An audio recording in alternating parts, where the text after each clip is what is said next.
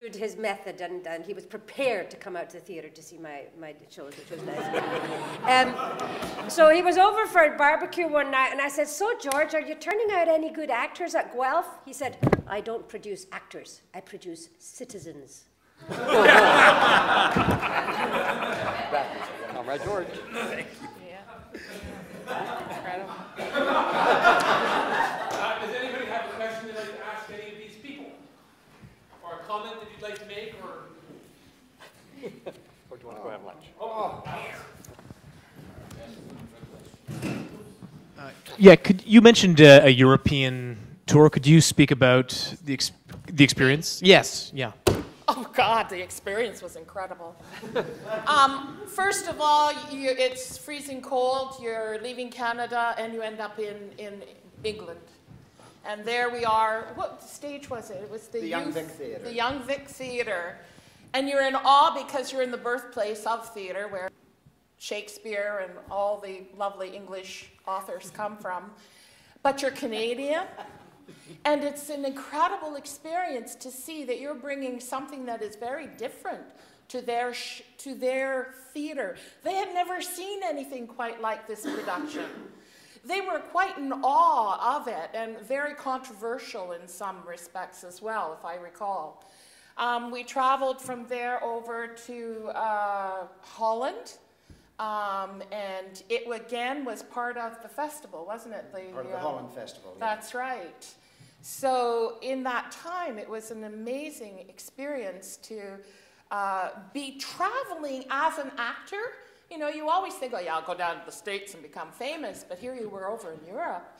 It, it was just part of the icing on the cake. But most of all, I think you were picking up the energy of the country and learning more about who they were and what they, their theater was like. And you were so damn proud of what you had to do. So damn proud, you know? It was great. Proud to be a Canadian. We, uh, we actually, we took, uh, we took two shows. Um, it was 1976. Oh, that's a long The time ago, isn't it? Can't get there from here. Um, we took a show about the Olympics that we had put together, sort of a, mm, a, a retrospective of, of the Olympics from 1898 uh, or 92, whatever the, the first of the modern Olympics was, up to 76. And our, our take on that was that it was the most commercial Olympics ever uh, in, in the history of them. And we took 10 lost years. So in, at the Young Vic, just down the street from the Old Vic, in London. Uh, we played we- played Ten Lost Years and the Olympic show uh, alternate evenings, I think. Yes. And uh, yes, the, the Holland Festival that was lovely because we were on the uh, uh, on the shores of the North Sea. And we went to Wales too. Uh, indeed, indeed. Yeah. But, but we went to went to Holland first. Uh, we were there for two weeks. We had five performances in this. Well, it was great. It was terrific. We had uh, to travel that particular country by by by train. Um, uh, we played in uh, in Amsterdam, the Stadsschouwburg. Uh, to I think probably uh, sort of something the size of the Royal Alex, uh, Yeah. if not a little bit larger. And I'm not sure how many of those people actually, how, how many of them spoke English? Probably a, a lot, I suppose. But um, and then back to uh, Sheffield, where we played the two shows over a one-week period, I think, and then to a place in North Wales called Mold. and just That's with the National Theatre Yeah. of Wales. Yeah. Exactly, exactly. In fact, it's be- become the National Theatre, uh, uh, Theatre Clwyd is, is the name of the theatre. And the theatre had been there for, I think, maybe three years at that time, or two years, the actual physical building. Emlyn Williams found And it was, it was way over on a hill from, from the hill that Mold was sitting on. And if you asked anybody about that place, or if you told them that you were working there, they got very, very grumpy because their tax dollars had risen in order to build that modern building over there, but there was no transportation system in place for them to actually get, get to the theater. It was very, very, very strange. Um, And the play was called You Can't Get There From Here. There was a there was a, T- a Toronto Workshop Productions play called "You Can't Get There from Here." Anyway, um, Yeah, yes, the Chile, please. Summer of 76. I, I think I think it was you who said uh, one night you ended the show with your monologue or the, or that, that story, and then you discovered that it was too sad, so you had to end it with a march. Did that mean that the way you produced the show every night changed, or was it like a set thing? No, you had it set all the time. Yeah. yeah. Oh, okay. Yeah, the, the play was the same, same thereafter, but that was just playing with stuff. You have to understand that when you go into a company setting, you work different pieces. You work your heart out on your piece. And you pray to God that it doesn't get cut because every day you would get new lines written in, you would get a rearrangement of how the production was going to be. Even before you went on at night, sometimes George would come backstage and say, uh, We're going to cut that piece over there, so you two tighten up. Um, we'll, you know, we'll rearrange this piece. So you were always on your toes, always alive, always new energy, new expectations. You can imagine how on the toes I had to be because it didn't. He was sometimes never informed that that piece was gone. He never told me. But I think that our first, our first, uh, our first preview, or, or sorry, opening was February the 7th, I believe, of, uh, of 74. And we had two previews. Uh, on the 5th, the first preview, the show ran three hours long. The second preview, the show ran two hours and 40 minutes long. And the opening night, it ran two hours and 20 minutes long. So snip, snip, snip. So we snip, cut snip. 20 minutes each, each, each of those, uh, of those previews. Uh, Urjo Kareda, who uh, subsequently became the artistic director of the Tarragon Theater, was at that time the theater critic for the Toronto Star. And he, much to our outrage and chagrin, came to uh, review the second preview of the show. We were crazy with anger, uh, frustration, until we read his review after our opening, which was a rave of the show. So, um, yeah, we were very, uh, it, it turned out all right, but uh, it, Would you like to comment on the process of choosing and, and uh, how, you- how stuff got put together and where songs come from and how they fit in and any of that kind of stuff in terms of the structure of the? Well, in terms of, it, came from all sorts of things. I mean, the very first day, uh, you know, right from day one, it was to kind of, movement was needed. And obviously, if you've got a bunch of stories, the problem is that they're static, and what you're looking for is momentum. And so, right, the, from the very first hour we were in the theater, the first, I mean, the, the, the image that was on the cover of the book was the men on the boxcar. So it was like very clear that we were going to be doing something about men on top of a train. And so the very first thing was searching around for some kind of piece of music that could be adapted, that could kind of have that rhythm of the train. And once you got that train, you can keep coming back to it. You've got something that's going across Canada, going, guys looking for work, going from one end of the country to the other, guys getting pissed off at the end, going over to Spain. Uh, so that all that momentum came from within.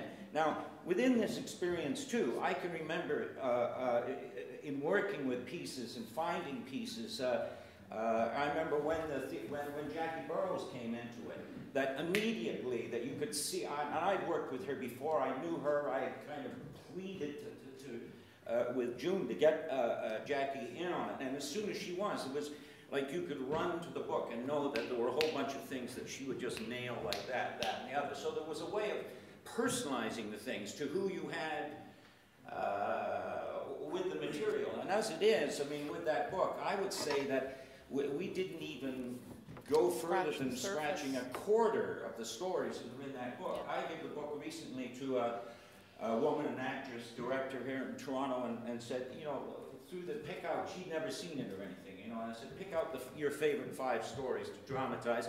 And four of the five she chose weren't even in the show. Uh, we, we did at all. So there's a lot of material uh, there. Wow, because the difference with, was when Paul Thompson and what the Farm Show did, they would have to go up, they collected all that material, edited and all that, lived with those people to do that. When I saw this book, I went, holy mackerel, talk about a shortcut, because all of that material and all of that work, Barry Broadfoot had done it kind of thing, and done all the work, and there it was to uh, uh, wield on. And so that there's a lot of times where, where there was so much that could be done with the text that there was no requirement for it to be any one thing.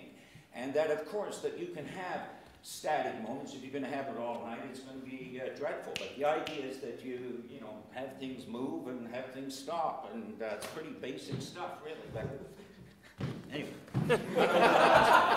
spins me down to my chair.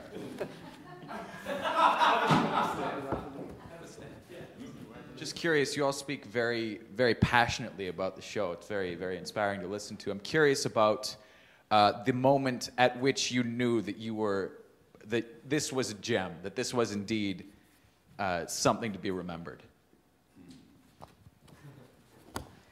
Alan, why don't you start Well- off, then I'll go back. Yeah, well, I, I came into it, as I say, after it was in rehearsal, and so we, we all kind of worked at the same time. Everybody was there all the time. So while the rehearsal, there was only one room. I mean, it was a big room like this. So I was, um, I was there all, all the time the rehearsals were going on. So that was going on in my other ear, you know, and I would be doing something. But I could always hear it. The booth that was up in the corner over here didn't have glass in it, so you, you couldn't get away, right? And you could always hear George yelling at somebody. but, but you know, you, were, you would wander out into the house. Obviously, you had to light it. So, you, like, like where we work now, we fight like crazy to actually see the damn play before we have to light it, right? Because you know, it's a, it's a big thing to work through you know, a huge play like Romeo and Juliet and get a, a run through so we can light it, you know, and see all that's going on. But there, you lived in the middle of it. It was like going to rehearsal every day, which of course you can't do at a place like Stratford.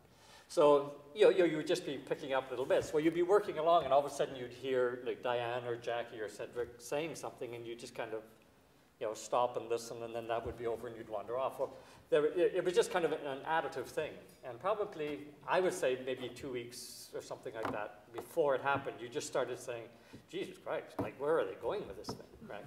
And and it was wonderful, and you find yourself not doing anything because you just kept going into rehearsal again. Right?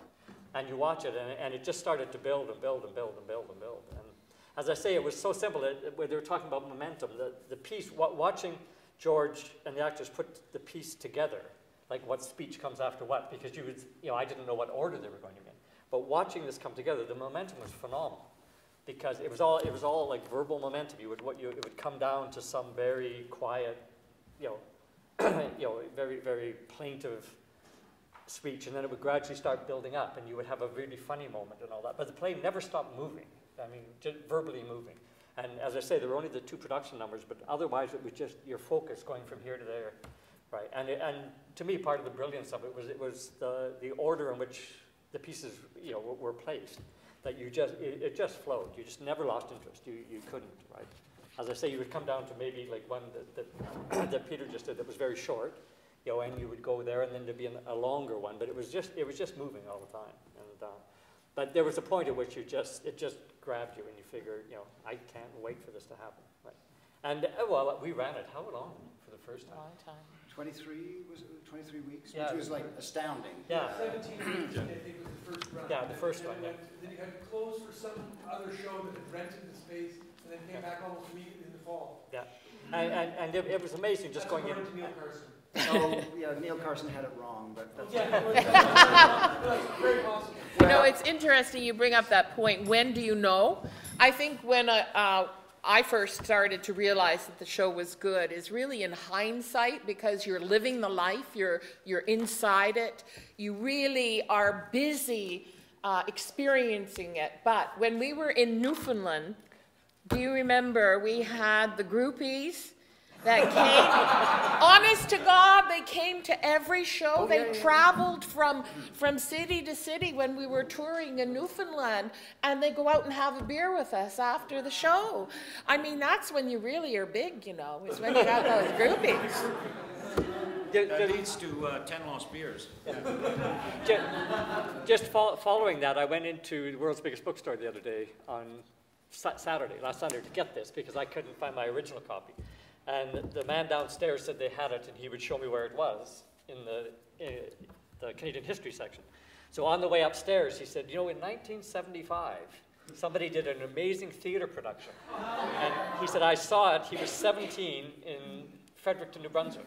And he saw it, and he could quote it right? And he, he still had the visual thing. He talked about the boxcars and all this kind of stuff. And I hadn't said a word to him that I had anything to do with it. So I, you know, th- there was that kind of impact it, it, it had. And another one was that